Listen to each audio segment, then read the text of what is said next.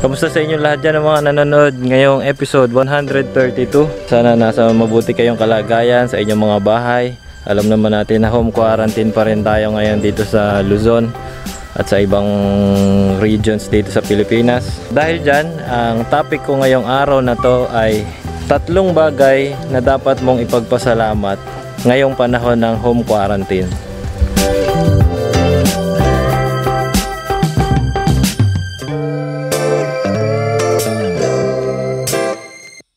Number one, unang-una sa lahat, dapat nating ipagpasalamat ngayong panahon na to na dahil sa home quarantine, nagkaroon tayo ng mas maraming oras para sa ating pamilya.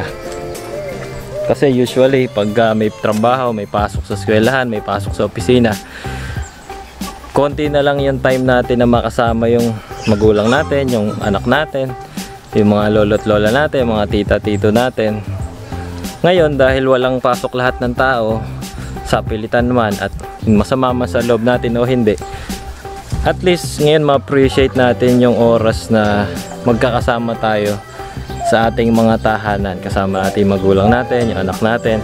More time for bonding, more time for uh, ika nga eh ma-enjoy yung oras na kasama yung isa't isa. Yan kamukha ngayon oh.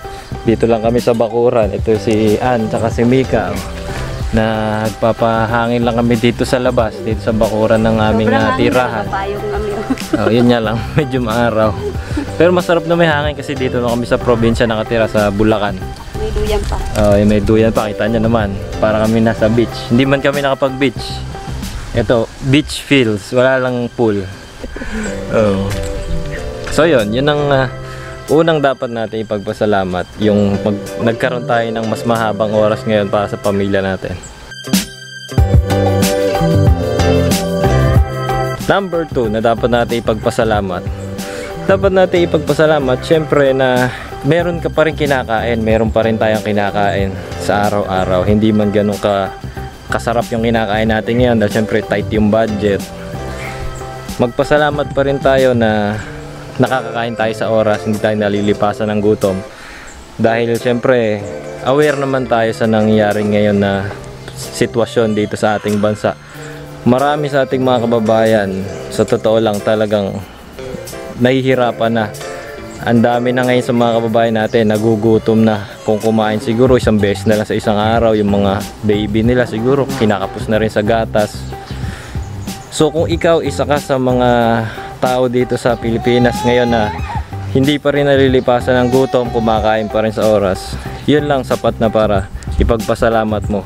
Wala ka man ngayong uh, pagkakataon makakain sa mamahaling restaurant dahil bawal lumabas hindi ka man ngayon makapag Jollibee hindi ka man ngayon nakapag uh, nakapag date sa iyong girlfriend uh, kahit mansari nyo at least sa bahay alam mo sarili mo may sapat kang kinakain araw-araw hindi ka nangangayayat baka malamang at tumaba pa karamihan ngayon dahil walang ginawa kundi kumain sa bahay yun lang dapat mo na ipagpasalamat na kahit paano may kinakain ka araw-araw So yun yung number 2 dapat may pagpasalamat.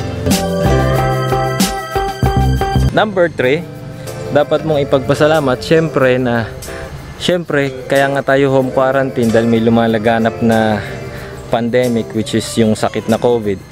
Dapat tayo magpasalamat kasi kung hindi ka pa nahahawa, napakaswerte mo kasi ang dami nang nahawa sa buong mundo at marami nang namatay. Kung isa ka sa hindi pa namamatay at nagkakasakit at nahawa, at pati yung mga kamag-anak mo, pamilya mo, anak mo, magulang mo, hindi pa nahaway, asawa mo, eh di napakaswerte mo kasi sa dami ng nahawa, isa ka dun sa hindi nasali, ba?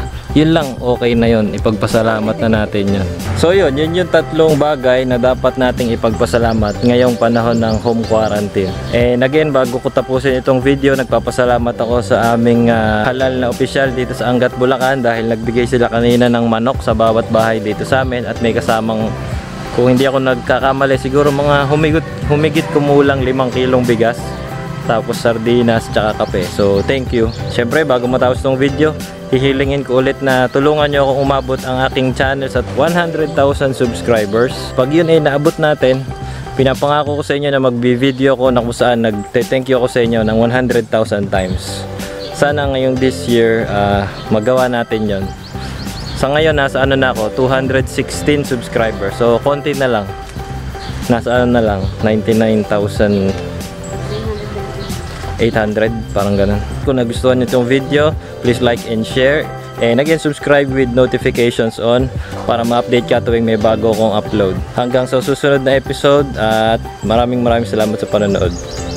So yan nandito pa rin kami sa Bakura kami kain ng manok